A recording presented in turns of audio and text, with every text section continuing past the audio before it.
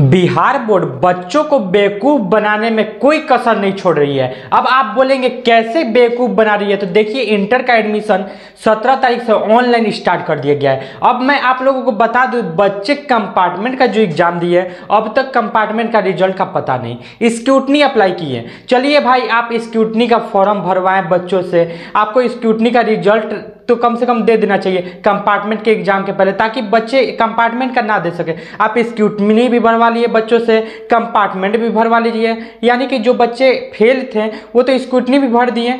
यानी कि नंबर बढ़ाने के चक्कर में री चेक कराने के लिए अप्लाई कर दिए।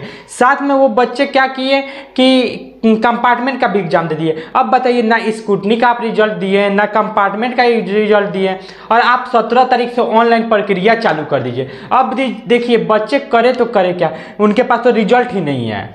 जो बच्चे वार्षिक परीक्षा पास किए, उनके पास तो रिज़ल्ट है। जो बच्चे स्क्यूटनी अप्लाई किए, उनका रिज़ल्ट कहाँ है? जो बच्चे कंपार्टमेंट अप्लाई किए, उसका रिज़ल्ट कहाँ है? आप बताइए कि ऐसे किया जाता है? बच्चों को इतना बेवकूफ़ आके बनाता कौन है? बिहार बोर्ड जैसा बोर्ड ही बेवकूफ़ बनाता है बच्चों को। ना ही स्क्यूटनी का रिज़ल्ट ना ही कंपार्टमेंट का रिज़ल्ट अब बताइए डॉक्यूमेंट का भी पता नहीं।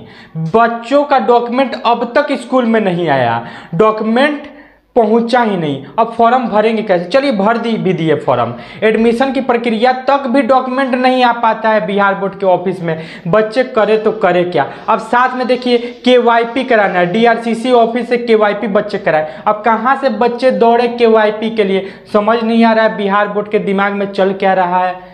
K Y P K Y P बच्चों को टेंथ पास आउट बच्चों को के वाई पी करना ज़रूरी है। आप सोच रहे हैं के वाई पी है क्या?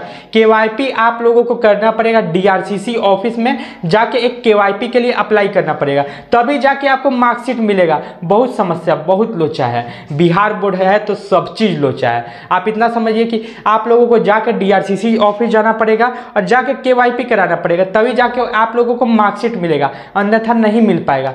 टेंथ पास किए हैं चाहे ट्वेल्थ पास किए हैं। सत्रह से ऑनलाइन प्रक्रिया चालू हो गई। तो अब बच्चे ऑनलाइन भी करने से रहें।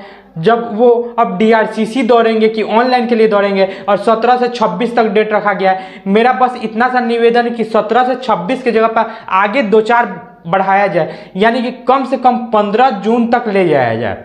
यानी बच्चों को 20 से 25 दिन का मौका दिया जाए ऑनलाइन करने के लिए। बस इतना ही कहना चाहता हूँ कि बच्चों के पास सर्टिफिकेट ही नहीं है। आखिर ऑनलाइन कैसे करें?